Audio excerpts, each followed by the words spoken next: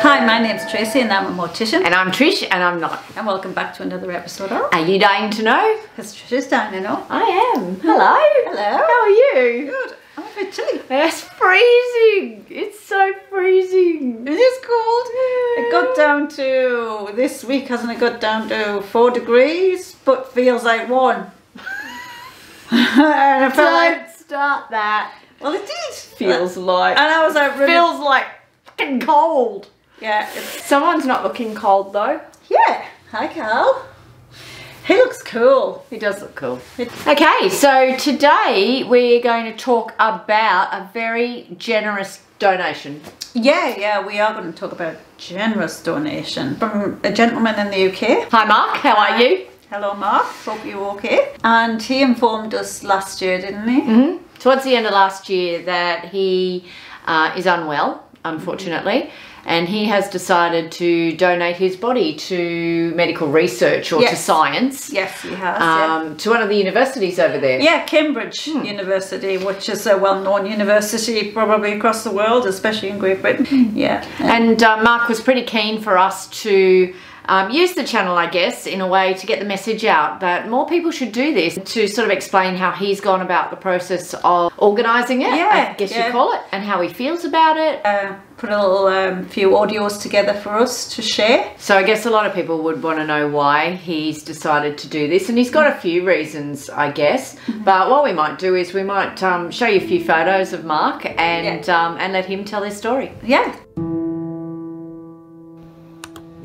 Basically, ladies, what's happened is that um, I found out um, quite recently that I've got a brain tumour. And uh, as sad as that is, it's not really all that much of a thing for me. I've kind of seen it coming for years, to be honest.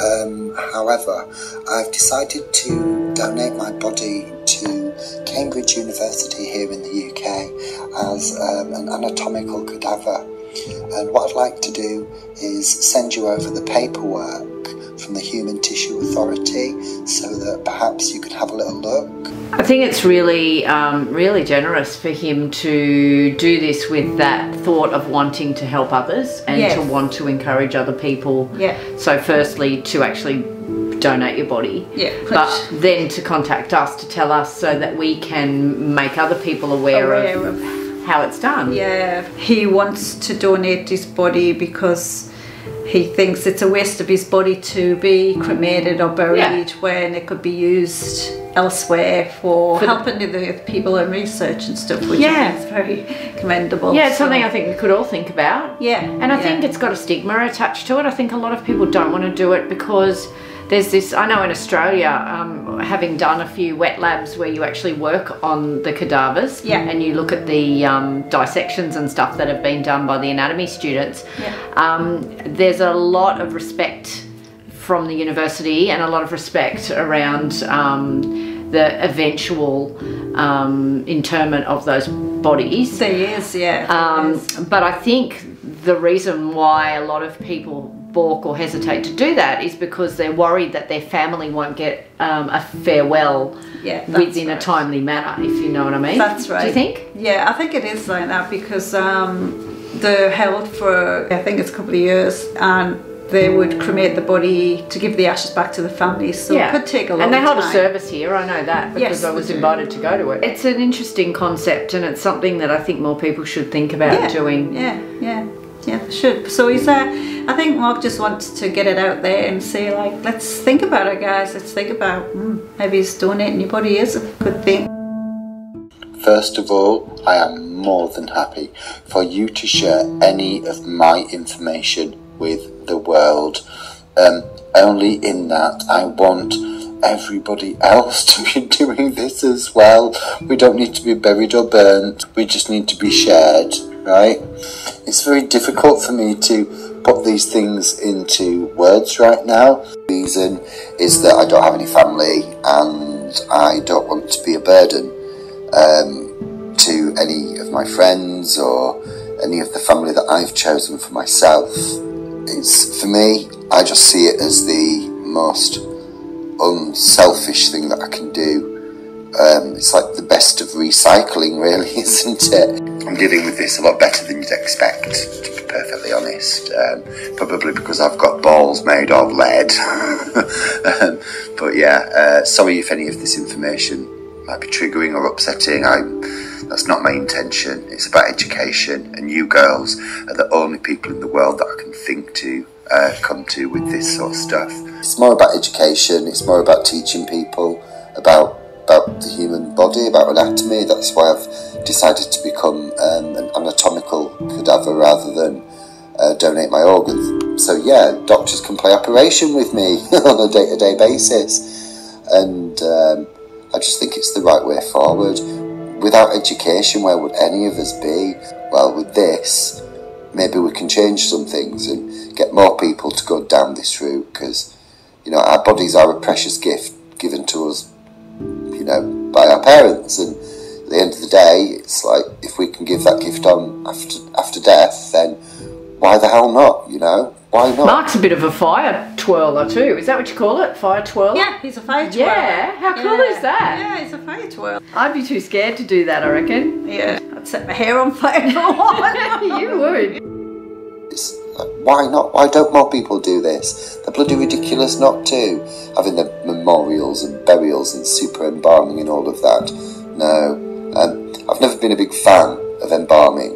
Um, and it would have been my very, very, very last choice. I wanted a green burial. That's all I wanted. Throw me in the earth, you know, and chuck me in there.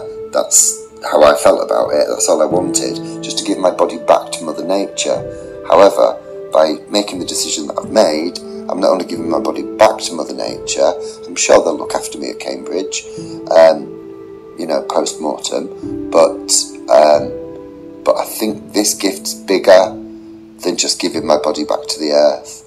That's kind of where I'm at with it. So, uh, the only request that I've made is that my head remain on my shoulders. Um, I don't want them to um, dissect me, or as in, you know, chop off my head, basically. Doesn't get much more morbid than that, does it? So, yeah, uh, in my experience, from what I understand, from time to time, they do uh, mass dissection, they do remove the head uh, to teach people about, like, you know, the vocal cords and all that sort of stuff.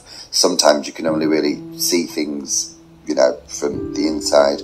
I just don't want them to cut my head off.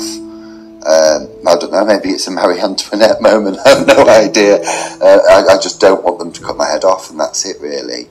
But yeah, uh, the NHS have been wonderful with me. Um, I've got all the medication and all of the um, all of the drugs that I need to be just trying to live um, an ordinary life.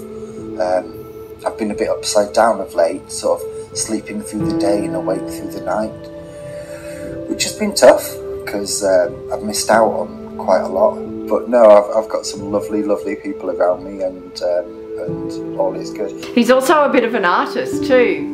That's Um, right. yeah. I sent a few pictures of his artwork. Yeah, he's got them in a shop that his friend owns. Yeah. It's a bit therapeutic for him as well, which is nice. It's a nice out- outlet. It upsets me that um, in, in a culture such as ours, for God's sake, that people can't look after their own and um, don't care for their own. I don't have anyone to come and look after me, so um, that's one of the reasons that I've decided to donate myself to the HTA.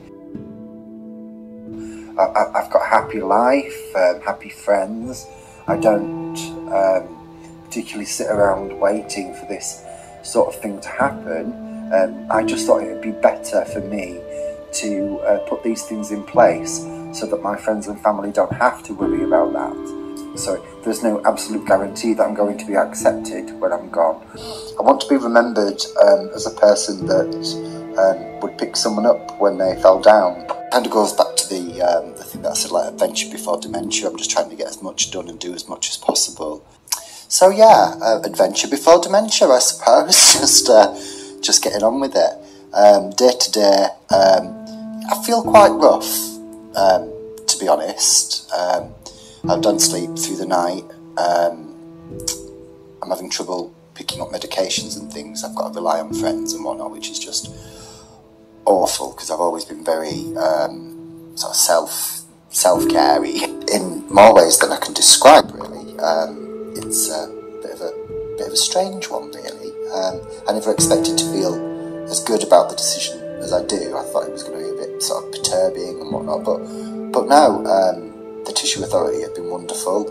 Uh, and the other thing to point out is that um, between now and whenever, you know, there were a number of things that could happen. I could catch COVID and pop my clogs that way. I could uh, have other health complications that um, that might dictate that the Human Tissue Authority won't be able to accept my donation, and then I will have to have some kind of green burial or a bit like you, chuck me in a cardboard box. You know, I just I don't really care. I don't want cremating. I know that for sure.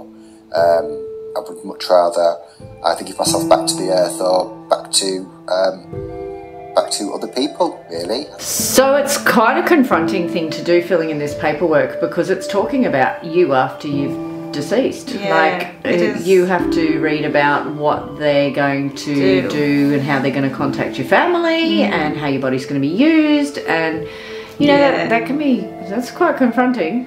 Yeah, yeah. I think Um, Mark's a very brave man to be going down this path. Yeah, yeah. he We're lucky there's brave. people like him Uh, in the yeah. world. very lucky. I'm not sure. No, I'm not sure if I could do it. Actually, I don't know. I don't know. I've never really thought about it neither. Well, this has got you thinking about it, It hasn't it? has, yeah. Imagine it that. There you go, Mark. Yeah. So basically, the university will be contacted once Mark has passed, Yeah. and um, arrangements will be made for his body to go to their facilities. I wonder if it's similar to here too, because um, we um, we'll get deceased people in that have a have donated their body to medical science, and then we'll get the um, university calling us Right. to check the body, to check for, you know, is the body okay, intact, as in there's no decomposition started, you know, you know any anything untowards on the body. So why do they go to you instead of going straight to the university? Because a lot of times the funeral homes store the bodies for a day Ah. after they've been released from, say, hospital or wherever they've come from. Um, it's usually a hospital because it's not coroners. They'll be uh, uh, referred from when they've had an autopsy. Right. So it's usually from the hospital, and the hospital um, have a funeral home, or the family have a funeral home that'll pick the deceased us up. We'll bring them into care, and then because there's a process they have to go through with the paperwork before they actually say yes, we are we can take Mr. So and so or Mrs. So and so into care. Right. You know the criteria is met. You know, so yeah, we a lot of funeral homes will hold them, but only for 24 hours, I think it is, and then have to go. Right. You know. Yeah.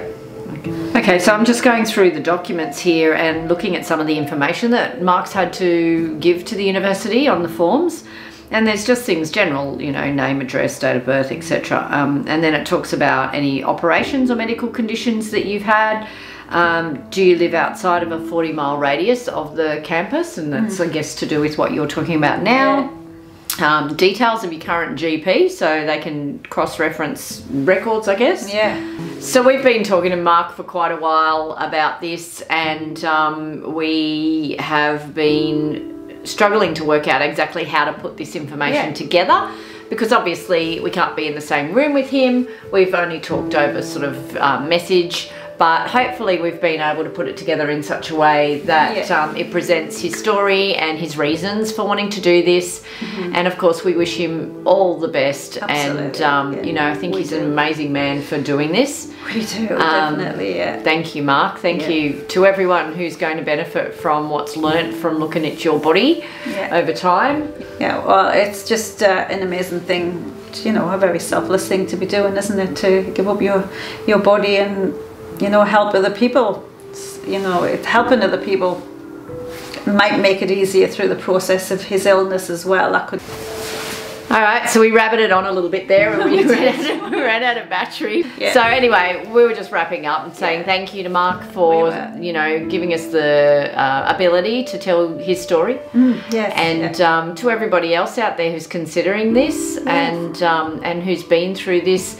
Uh, in, I'd be interested to hear from anyone who has been through this from the other side as a family member, a close loved one who's had to deal with this. uh, yeah, that it w- would be nice to know how actually the families feel about it. feel about all Yeah. the other side of it. Yeah, Yeah. it would be. But anyway, thank you, Mark. We wish Yeah. you all the best. We no do. doubt we'll chat again. Yes. And um, I'm sure everybody from the channel is behind you. And um, mwah, we send Yeah. you all our love. Yeah, you take care. And to everybody else, Yes. hope you're well and give it some consideration. Yeah, absolutely. Yes, think about it. You never know what major medical discovery might come from your little body lying there. Yeah. Thanks everybody for watching. Thanks Take for watching, care. guys. Bye. Bye bye.